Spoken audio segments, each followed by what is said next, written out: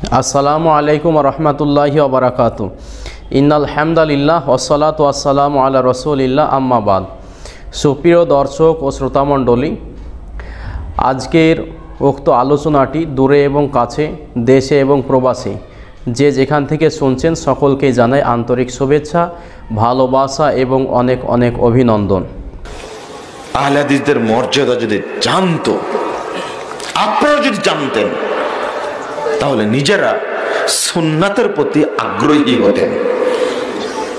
ইমাম শাফি রহিমাহুল্লাহ বলছেন, ইদা রয়তু মিন আসহাবিল হাদিস রয়তু সাল্লাল্লাহু আলাইহি আমি যখন কোনো আহলে হাদিস ব্যক্তিকে দেখি, তখন স্বয়ং মোহাম্মদ সাল্লাল্লাহু সাল্লামকে জীবিত অবস্থায় দেখতে পাই। শুধু দর্শক মণ্ডলী, আপনারা শুরুতে একটা ভিডিওর শর্ট ক্লিপের মধ্যে দেখতে পেলেন, আহলে হাদিসের একজন বিখ্যাত মুখপাত্র মুজাফফর বিন মহসিন। এই নামধারী শায়েখ তিনি দাবি করেছেন যে ইমাম শাফি রহিমাহুল্লাহ তিনি নাকি বলেছেন, ইজা রআইতু রজুলাম মিন আসহাবিল হাদিস। যখন আমি কোনো আহলে হাদিস ব্যক্তিকে দেখি, ফাঁকা আন্নি রআইতুন নাবিয়া হাইয়ান, তাহলে মনে করি যেন বিশ্বনবীকে জীবিত অবস্থায় দেখলাম। শুধু দর্শক মণ্ডলী, মুজাফফর বিন মহসিন সাহেব যে ইবারতটি পড়েছেন এবং যে কথাটি প্রকাশ্যে মানুষের সামনে জলসায় তুলে ধরেছেন, আসলে কি এই রকম কোনো কথা বা বার্তা ইমাম শাফি রহিমাহুল্লাহ কোথাও বলেছেন? না বলেননি। না ইমাম শাফি রহমাতুল্লাহ আলাইয়ের নামে এটা জালিয়াতি করা হয়েছে। চলুন, আমরা সত্যটা যাচাই এবং বাছাই করব ইনশাআল্লাহ। মোহতারম মোয়াজ্জাজ সামিন হেরম। এখানে মুজাফফর বিন মহসিন, আহলে হাদিসের একজন মুখপাত্র, তিনি এই কথাগুলো বলতে গিয়ে অনেকগুলি খিয়ানত করেছেন। আর সেই খিয়ানতগুলি একটা একটা করে আপনাদের সম্মুখে তুলে ধরবো ইনশাআল্লাহ, যদি আল্লাহ তাবার তাবারকালা তৌফিক দেয়। শুরুতেই আমি বলব যে শায়েখ মুজাফফর বিন মহসিন অনুবাদের মধ্যে এবং ইবারতের মধ্যে বিরাট খিয়ানত করেছে। এখানে সে বলেছে, ইজা রআইতু রজুলাম মিন আসহাবিল হাদিস। ইমাম শাফি রহমাতুল্লাহ বলেছেন নাকি যে, আমি যখন কোনো আহলে হাদিস ব্যক্তিকে দেখি, এখানে কোথাও ইবারতের মধ্যে আহলুল হাদিস শব্দ প্রয়োগ করেননি, বরং ওটা ওই মুজাফফর বিন মহসিনের নিজের পক্ষ থেকে বাড়ানো। এটা সে নিজের দলকে প্রমোট করার জন্য, নিজের দলকে ভাইরাল করার জন্য, আহলুল হাদিস দল পূজারি বানানোর জন্য মানুষের সামনে এই রকম একটা মিথ্যাচার করেছে। এখানে আসহাবুল হাদিস শব্দ চয়ন করা হয়েছে, অনুবাদে খেয়ানত করে বলেছে আহলুল হাদিস। আর একটি এখানে ভুল করেছেন উনি। ফাঁকা আননি রআইতুন নাবিয়া হাইয়ান। এই যে এখানে বলেছেন যে আমি স্বয়ং বিশ্বনবী সাল্লাহ আলাইহাসাল্লামকে যেন জীবিত অবস্থায় দেখলাম। এটাও মিথ্যাচার করেছে। হাইয়ান শব্দটা ওনার পক্ষ থেকে বাড়ানো। কোথাও ইমাম শাফি রহিমাহুল্লাহ এই হাইয়ান শব্দটা বলেননি। উনি এটা কথাটাকে বিকৃতি করে বলেছে। মোহতারাম মোয়াজ্জাজ সামিন কিরাম। এবার আসুন আর একটি যে খিয়ানত করেছেন উনি। এই যে আহলুল হাদিস, ও যে বলতে চাইছে আসাবুল হাদিস মানে আহলুল হাদিস, তো ধরে নিলাম যে আহলুল হাদিসই ইমাম শাফি রহিমাহুল্লাহ বলেছে। তাহলে আহলুল হাদিস মানে কি? শায়েখ মুজাফর বিন মহসিন, আব্দুর রাজ্জাক বিন ইউসুফ বা এ যুগের যারা ফারাজি বা আহলুল হাদিস দলের অনুসারী তাদেরকে বোঝাতে চেয়েছেন, না ইনপসিবল এখান থেকে ইমাম শাফি রহিমাহুল্লাহ ওদেরকে বোঝায়নি। বরং আহলুল হাদিস বা আসহাবুল হাদিস বলতে কাদেরকে বুঝিয়েছেন, চলুন ইমনে তাইমিয়া, উনি একজন বিখ্যাত আলেম এবং স্কলার তিনি কি বলছেন দেখুন। তিনি বলছেন একটি বিখ্যাত বইয়ের মধ্যে এসেছে নাকদুল মান্তিক। আবারও বলছি, নাকদুল মান্তিক একটি বইয়ের নাম। এ বইয়ের আঠারো নাম্বার পৃষ্ঠা এসেছে।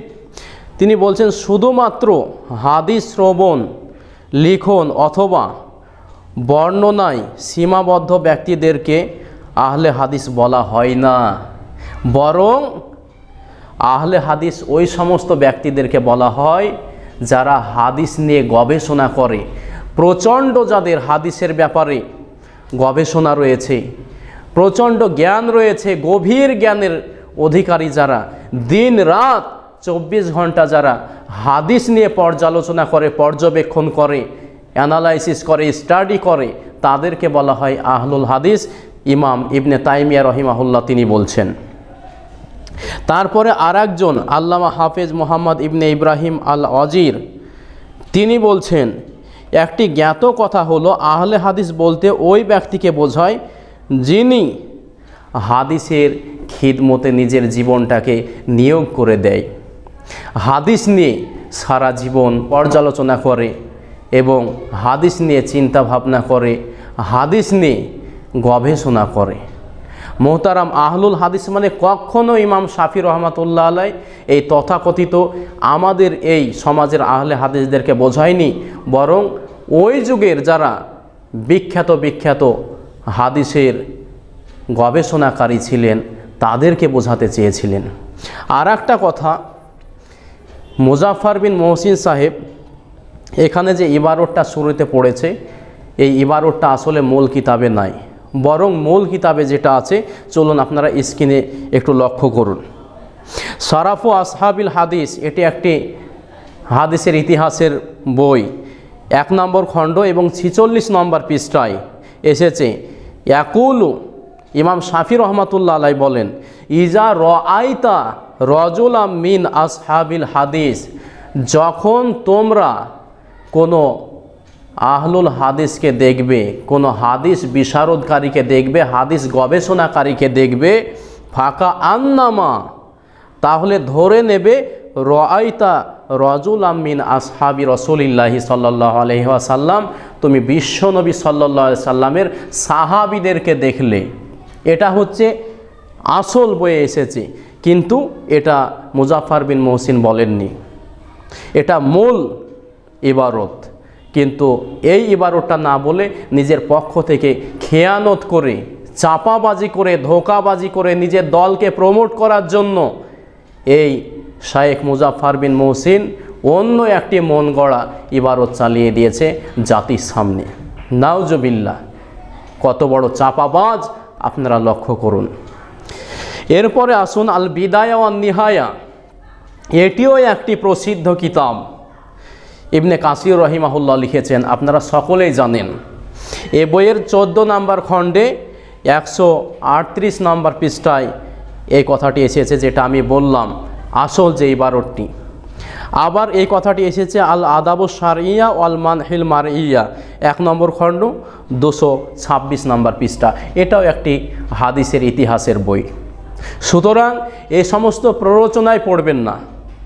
এ সমস্ত কথা যখন কেউ বলবে যে আসহাবুল হাদিস মানে আহলে হাদিস, আমরা নিজে আহলে হাদিস বলে বা আপনি নিজে আহলে হাদিস দল করেন বলে এটাকে আহলে হাদিসের নামে চালিয়ে দিলেন। মানুষকে বোকা বানানোর জন্য, ধোকা দিয়ে মানুষকে আহলে হাদিস বানানোর জন্য, দল পূজারি বানানো, বানানোর জন্য। সুতরাং এইরকম ধোকাবাজি করবেন না, মানুষের ইমান নষ্ট করবেন না। মুসলমানরা একতার সঙ্গে ওঠা বসা চলাফেরা করছে, একতা বিনষ্ট করবেন না, মুসলমানদের মধ্যে হিংসা হিংসি, মারামারি, দলাদলি সৃষ্টি করবেন না। আর আমরাও সকলে এই সমস্ত চাপাবাজ শায়েক থেকে বেঁচে থাকব ইনশাল্লাহ এখান থেকে বক্তব্য এটি করলাম। ও আখিরি দাওয়ানা আলহামদুলিল্লাহ রবিল আলমিন।